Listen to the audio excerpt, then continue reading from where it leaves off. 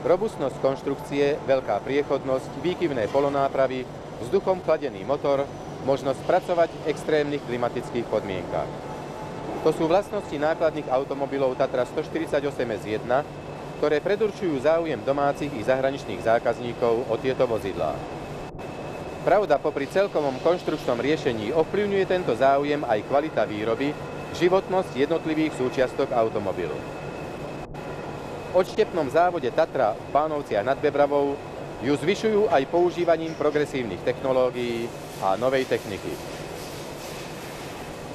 Pri výrobe nábojov tanierových kolies a samotných tanierových kolies nahradili 32 strojov deviatimi, keď začali využívať viacvretenové automaty prepojené dopravníkovým systémom. Priebežný výrobný čas sa skrátil až štvornásobne pri podstatne zvýšenej kvalite výroby.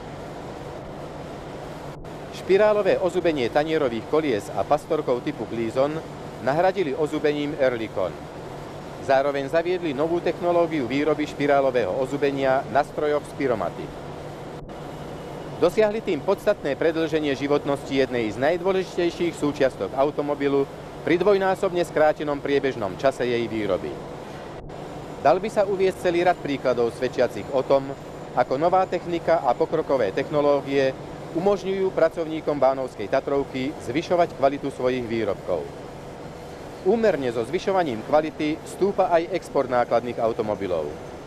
V roku 1972 sme ich z Bánoviec vyviezli 883. V minulom roku už takmer dvojnásobok. Rastúci záujem a spokojnosť zahraničných odberateľov však zavezuje ďalej zlepšovať úžitkové parametre i kvalitu našich Tatroviek.